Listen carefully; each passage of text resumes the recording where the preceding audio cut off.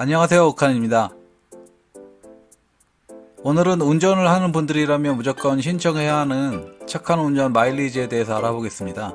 운전을 직업으로 가지고 있는 분들은 보수교육이나 신규 교육을 통해서 신청도 하게 되고 몰랐어도 자연스럽게 알게 되는 내용이기도 합니다. 많은 분들이 이 제도에 대해서 잘 아시겠지만 귀찮아서 신청을 안 하는 부분이기도 합니다. 일단 직업으로 운전을 하는 분이 아니더라도 사람 일은 정말 모르기 때문에 만약을 위해서 무조건 신청하시는 게 좋겠습니다. 간단하게 착한 운전 마일리지에 대해서 알아보면 성립 조건은 간단합니다. 서약일로부터 1년 동안 무위반 무사고를 서약하고 실천하면 됩니다.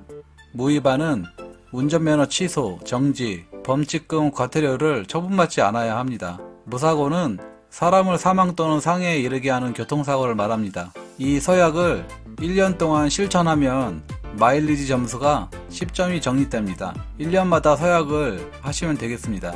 그리고 마일리지 적립은 한도가 없이 계속 누적 적립이 가능합니다. 또한 적립된 마일리지는 자신이 공지하지 않는 한 계속 유지됩니다. 사용 방법을 예를 들어 설명을 드리면 벌점이 40점 이상이 되어 정지처분 대상자가 될 경우 면허 정지처분 이의 제기 시 경찰서에서 점수 공제 신청을 하면 적립 한도 내에서 원하는 만큼 사용이 가능하고 정지 처분을 면할 수 있습니다. 따로 신청을 하지 않으면 그대로 정지 처분이 됩니다. 마일리지 서약 접수 방법으로는 경찰서 지구대 파출소에서 가능하고 온라인으로 하는 방법은 경찰청 교통민원 24에서 신청이 가능합니다. 교통민원 24에서는 현재 자신이 보유한 마일리지 확인도 가능합니다. 서약을 한 상태에서 위반이나 사고가 발생한 경우는 그 다음날부터 다시 서약을 할 수 있습니다. 모바일이나 PC를 통해서 5분만 투자하면 신청이 가능한 제도고 만약을 위해서 혹시 모르는 10.5점 때문에 면허 취소나 정지되는 불상사를 미리 예방하는 차원에서라도